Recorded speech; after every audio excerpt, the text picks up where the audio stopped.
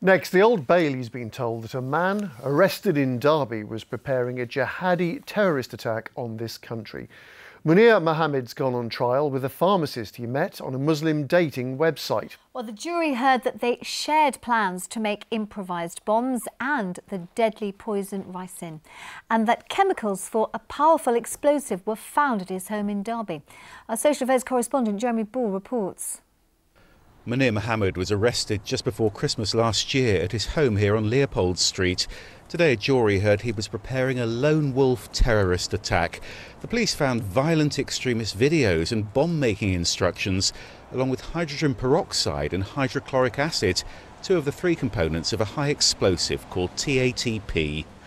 Today, he went on trial with Rowaida El Hassan, a pharmacist from London She's accused of sharing instructions to help him build an improvised explosive device or to make ricin poison from castor oil.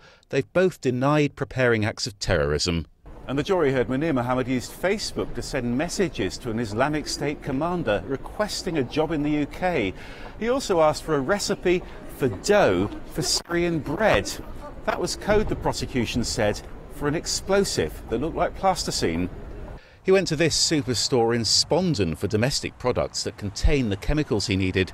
He also bought acetone free nail polish here. The prosecution say that was a mistake because acetone was the final ingredient he needed for TATP. And at this discount store in Normanton, the jury heard that he asked about pressure cookers. Pressure cookers, the court was told, are suitable containers for improvised explosive devices. Munir Mohammed told the police the chemicals they found were for cleaning his alloy wheels and to treat burns from steam at Kerry Foods where he worked. And he said the extremist videos were to help him argue about the dangers of Islamic State. The trial's due to last for around a month. And Jeremy is in our London newsroom for us now. Jeremy, good evening to you. Um, now, I gather that some of the videos that Munir Mohammed shared were actually shown today.